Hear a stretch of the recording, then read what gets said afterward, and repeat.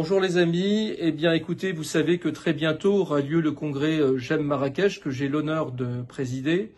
Et ce congrès peut être, comme tous les congrès aiment, un game changer dans votre euh, activité, comme on dit maintenant. C'est-à-dire que vous pouvez y acquérir des connaissances qui vont changer votre vie et celle de vos patients, et voire même changer la nature de votre activité.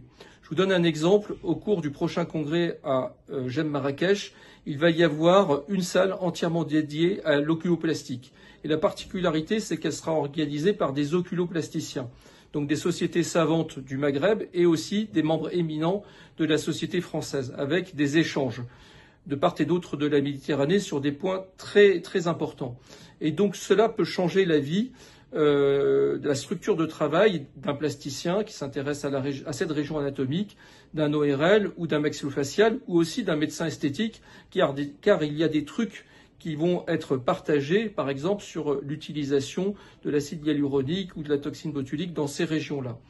Donc vraiment, je vous encourage à y aller. Moi-même, euh, j'y apprends à chaque fois quelque chose. Je vous donne un autre exemple. Il se trouve que j'ai été formé par Oscar Ramirez aux États-Unis et j'ai la chance de le revoir encore euh, assister à des congrès à l'international.